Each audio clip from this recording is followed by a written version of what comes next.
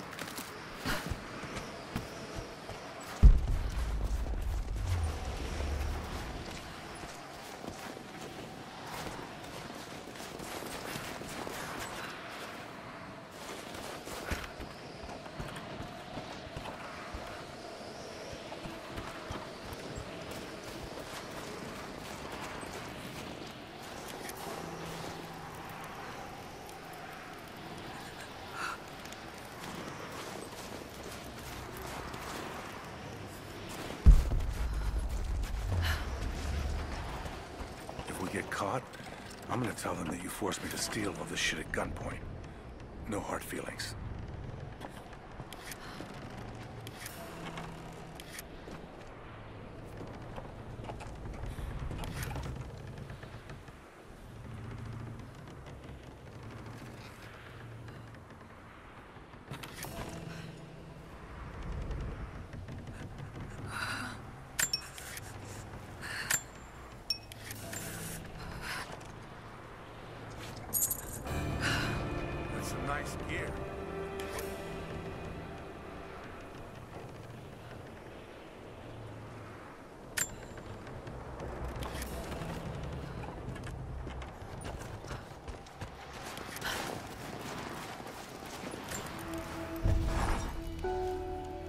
I know I've spoken little of your mother, Lara, but I want you to know that in the brief time she spent with you, she loved you utterly. We were a very happy little trio, and when we lost her, I was a wreck. I still am. I will find answers that will stop this pain. For me, it is too late, but for others, maybe not. I'm rambling now. Shouldn't have had that nightcap. Sweet dreams, dearest. Was it all about her? Those questions about life you hoped to answer? Or was that just an excuse? Maybe I reminded you of her too much. God, Lara, you're talking to a ghost. About another ghost. Maybe you need a nightcap.